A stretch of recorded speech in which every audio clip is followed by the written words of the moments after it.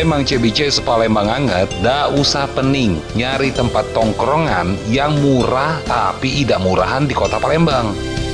Cafe Dak Beringgut dengan menu khas angkringan dan kopi wai hitam racikan dari barista profesional menghadirkan cita rasa yang oke banget plus nggak bikin kantong jebol. Dan setiap malam minggunya akan ada live on air yang mengundang tokoh-tokoh penting, komunitas, orang-orang viral di kota Palembang yang akan berbagi cerita sekaligus memberikan solusi dari setiap masalah yang sedang hangat saat ini. Tunggu apa lagi? Yuk ke Cafe Da Beringgut. Cafe Da. Sekali terduduk, sungkan nak ke mana-mana lagi.